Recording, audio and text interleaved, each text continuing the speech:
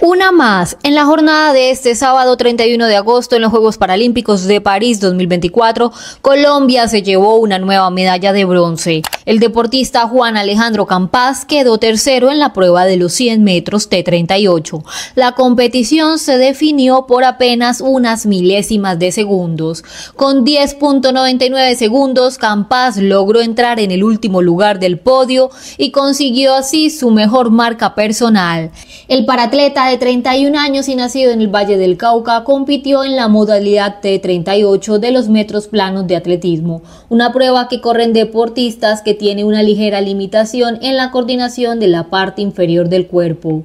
De esta manera, Colombia ya acumula cinco medallas paraolímpicas en esta edición. Este viernes, José Lemos y Erika Castaño conquistaron el oro. Nelson Crispín se llevó la plata en la paranatación y la jornada la cerró el bronce de Carlos Daniel Daniel Serrano, también en la paranatación. Para ampliar esta y más noticias, visite nuestra página web ultimaoracol.com.